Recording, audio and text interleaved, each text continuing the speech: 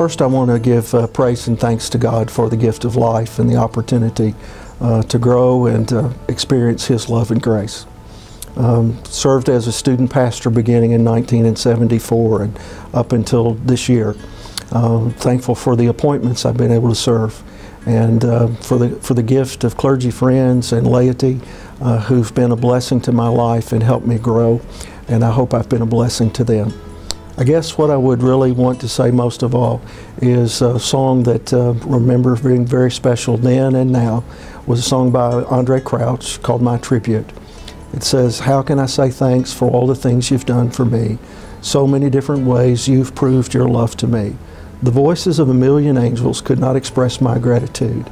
All that I am and all that I ever hope to be, I owe to God. Thanks be to God. It's been my good fortune to have the opportunity to serve uh, within the bounds of the Kentucky Annual Conference since 1980. First at Somerset First United Methodist Church, and for 25 years at the Emmanuel United Methodist Church in Northern Kentucky. The past six years I've been on incapacity leave. It's been a pleasure to serve on district and conference teams during much of that time. Today, my prayer for you is that you will join with me in continuing on the theme of the old gospel song. This is my story, this is my song, praising my Savior all the day long. In 1957, my father was appointed to the Jackson Methodist Church. His district superintendent gave him this admonition Virgil, he said, just go and love those people. Over the course of 39 years in six churches and three different districts, I've tried to follow that admonition just go and love the people. I'm grateful to God who has called uh, me and enabled me.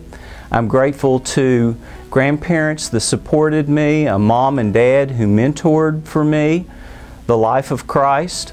I'm very grateful for a wife and children who followed me and journeyed with me, and to all those people in churches and districts who became more than just parishioners and leaders. Now we enter into full grandma and grandpahood. Ellen and I are going to be grateful to do that with our only grandchild, Ella Grace Harlan. Ella, get your coat. We're going to go to Culver's for some ice cream.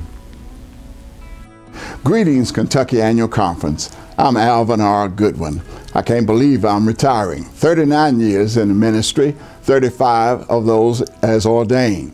Coming from the Tennessee Conference to the Kentucky Conference, I've been grateful to serve various appointments in this conference. And for my family that have traveled up and down the highways with me as well. Just reminded about how beautiful are the feet of those who bring good news, glad tidings, and good things to those. I will continue to do so as well while I'm on God's journey. Thank you again. May God bless you and keep you. First, I'd like to thank my Lord and Savior Jesus Christ for salvation and His call on my, wife, my life. Then I'd like to thank my wife, Joan, uh, of 46 years of marriage, of staying with me through thick and thin. She's been my greatest cheerleader, encourager, and criticizer. But her criticism has come uh, with great love and has made me a better person and a better pastor, I believe.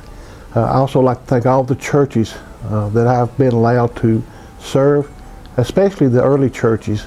Uh, I served as a student pastor. They loved me in spite of myself. And they thought of their ministry to the church was to encourage young pastors, the next generation of pastoral leadership in the conference. Thank you. First, I want to say thank you to my family, my wife Vicki, and my two sons Matt and Jason. We've been on many great adventures, and thank you Thanks to the churches I serve for blessing me with a gift of trust and fellowship. I greatly appreciate the superintendents that encouraged me and my friends all over Kentucky. Thank you.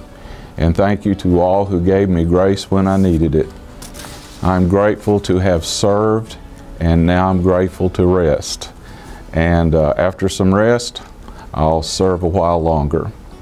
So thank you, Father in heaven, and thank you, Lord Jesus and Holy Spirit, for love, presence, grace, power, and thank you all for cheering me on.